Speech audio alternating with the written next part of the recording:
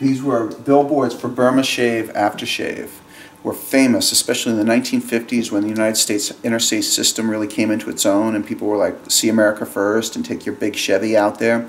Burma Shave billboards would appear one after another in a series on the highway. So you would see them every eighth of a mile or so, so it would be a whole little story.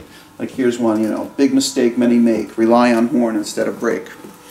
Don't stick your arm out too far or it'll go home in another car. Burma Shave Aftershave, be like fifth billboard people would send in ideas and suggestions and would write them all down. They did dozens, even hundreds of them all across America. Very famous.